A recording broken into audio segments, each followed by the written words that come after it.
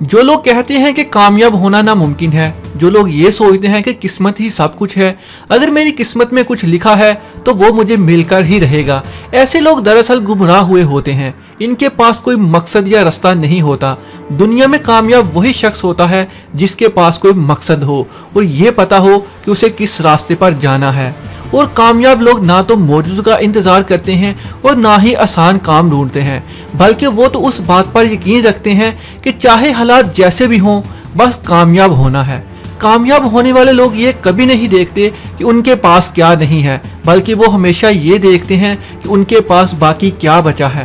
جس کو استعمال کر کے وہ کامیاب ہو سکیں، اور یاد رکھنا کہ صرف خواہش سے کبھی کامیابی نہیں ملتی، بلکہ محنت اور دن رات ایک کرنے سے ہی کامیابی ملتی ہے۔ خدا سے مانگنے کا مزہ تو اسی وقت آتا ہے جب انسان سو فیصد محنت کے ساتھ کام کرتا ہے۔ اور کامیابی تبھی ملتی ہے جب انسان سو فیصد محنت کر لے۔ زندگی میں عام لوگ صرف بیس فیصد محنت کرتے ہیں۔ جو لوگ پچاس فیصد محنت کرتے ہیں، دنیا ان کی عزت کرتی ہے۔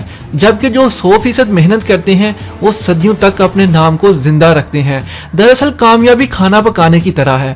جب تک آپ کے پاس کھانا پکانے کی ترکیب نہیں ہوگی، تب تک آپ کھانا نہیں بنا پائیں گے۔ جیسے کھانا پکانے کے لیے مختلف اجزاء کی ضرورت ہوتی ہے، ویسے ہی ہمارے دماغ میں مثبت خیالات اور نئے آئیڈیاز کی ہر وقت ضرورت ہوتی ہے۔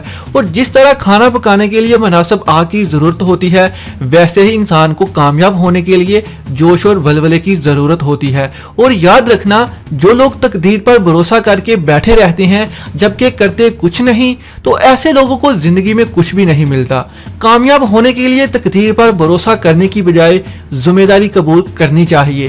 جتنی تم محنت کرو گے، تمہیں اتنا ہی ملے گا۔ اگر اس بات کو تم اپنے ذہن میں بٹھا لو گے، تو قسمت پر بھروسہ نہیں کرو گے۔ اکثر لوگ زندگی میں بس یہی سوچتے رہتے ہیں کہ وہ بد قسمت ہیں اگر کوئی بار بار یہی سوچے گا کہ وہ بد قسمت ہے، تو وہ ناکام ہی رہے گا اور ساری زندگی قسمت کو کوستے ہوئے اپنی زندگی کو ضائع کر دے گا۔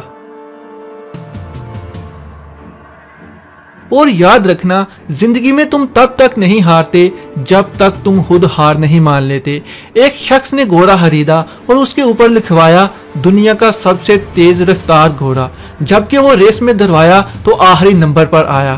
پھر اس نے گھوڑے سے پچھلی عبارت ہٹوا کر نئی عبارت لکھوائی کہ دنیا گھوڑے سے زیادہ تیز ہے۔ اسی طرح اس نے پھر بعد میں کبھی گھوڑے کو دوبارہ ریس میں نہیں دروایا کیونکہ وہ ہار مان گیا تھا اور پھر زندگی بھر ایسے ہی ناکام رہا۔ اس لیے اگر تم بھی زندگی میں کامیاب ہونا چاہتے ہو تو ہار سے مت ڈرو، مایوس ہو کر مت بیٹھو کیونکہ مایوسی اللہ کو بھی پسند نہیں ہے۔ اس لیے کوشش کرتے رہو، محنت کرتے رہو، محنت جاری رکھو۔